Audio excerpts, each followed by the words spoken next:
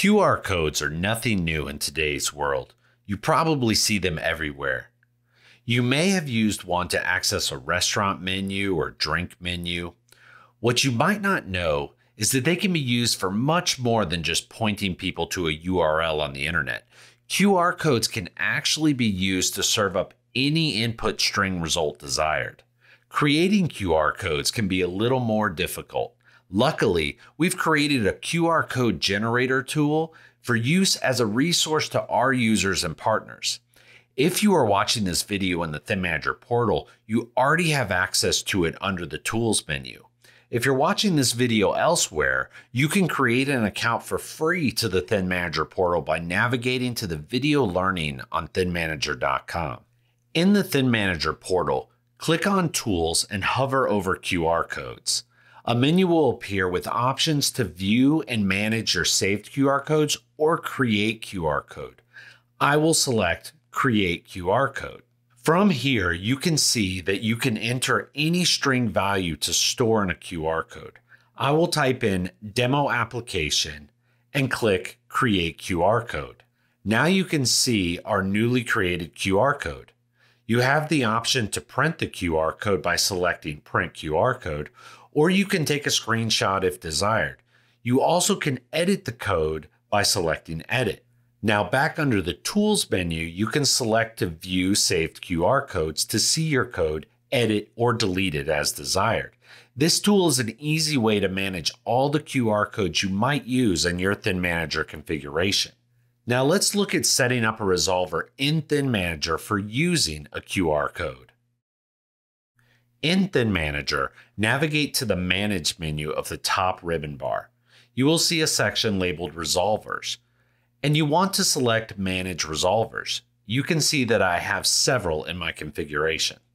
I will select Add to open the Add New Resolver wizard. I'll start by giving my new resolver a name. I will name it Demo App QR.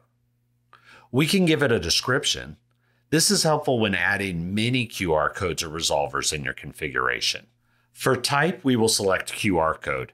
And for data, we want to match exactly what will be read from the QR code we created. We use demo application. Now we simply click OK. We can click OK to close the Manage Resolvers window as well. Now that we have the resolver in ThinManager, we need to decide what we want to do with it. First, let's look at simply serving up a piece of content assigned to the QR code. This is a great way to visualize something needed at that moment where a QR code can be placed. Something like a motor schematic or instructional PDF, your QR code can be placed on a piece of machine and assigned all the documentation for that machine. In ThinManager, we want to find and select locations from the left side tree pane we want to create the location that our QR code will represent. Right click on locations at the top and select add location. This will open the location configuration wizard. Let's give our location a name. Let's call it main motor. Using the next button, we can navigate past the location options, past the login requirements, and to the display client selection window. Here we can choose the display client owned by our location. Let's select the pack motor schematic from our RDS display clients. Clicking next again brings us to our Windows login information. I'm going to use the search button to select one of my Active Directory users. Once I've selected my user, I simply want to verify the, the credentials.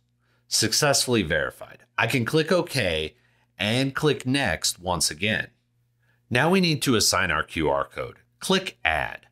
From the resolver name dropdown, I'm going to choose demo app QR code or demo app QR that we previously added. Now we can choose the action we want when our code is scanned. The action menu gives us several choices of how we want our content to behave. Clone spins up a new session of the location visualization. Force transfer takes the session from the location, such as a tethered terminal. We will show that next. Transfer will take the session, but prompt the user using that terminal to grant permission for that transfer. Shadow and view only shadow are exactly what they say. They are simply shadowing the content of that location, either giving you interactive permission or not. Last, no action is only identifying the location without an action. This is primarily used for securely using geofencing to gate content. We're going to choose clone and start a new session once we scan our QR code to receive the assigned content. Click OK, and lastly, click Finish. Now let's mirror my iPad on screen. You can see that my iPad using iTMC has the display client assigned to it. I will select Scan ID and scan our QR code that we created. As expected, we are presented with our motor schematic just as we configured.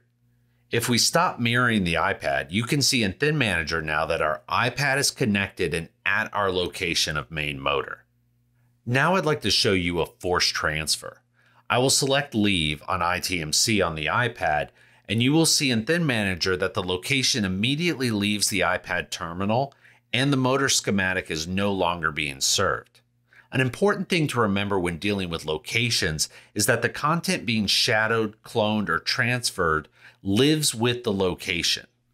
So if we have a tethered terminal, instead of assigning the content to the terminal, we want to assign it to the location and assign the location to the terminal. That will identify the location is that terminal. In ThinManager, navigate on the left side tree pane to Terminals. I'm going to double click my 6300T tethered terminal to open the terminal configuration wizard. Using the next button, we will navigate to the display client options window. We'll remove the desktop display client that is currently assigned to the terminal. Again, using the next button, we will navigate to the location options. Here we will select the change button under assigned location. This will allow us to choose our main motor location. Now we will select finish. Now, before we restart our terminal, let's make our changes to our location. Again, from the left side tree pane, select Locations and double click to change the configuration of our main motor location. Using the Next button, let's navigate to the Resolver selection screen. We want to edit our demo app QR resolver. We are going to change the action from clone to force transfer. Click OK and then click Finish. Now we want to restart our terminal to have our changes take effect. From or back at the Terminals tab, we can right click on the 6300T and select Restart Terminal and then click Yes. Once our terminal restarts, we will see that it now shows the terminal is assigned the location of main motor. If we shadow our terminal, you can see that it displays the motor schematic that we have assigned to that location. Now, when we scan our QR code, it will now force transfer the motor schematic to the iPad using iTMC. And on the 6300T tethered terminal, we are left with a message clearly showing that the session has been transferred away from the terminal. You can see my iPad now has the schematic on screen. If I choose Leave in iTMC, the session instantly goes back to the tethered terminal. QR code resolvers in ThinManager are a powerful way to present and secure your content in your environment. Coupling our resolver technology can even create geofences to increase the security of these actions.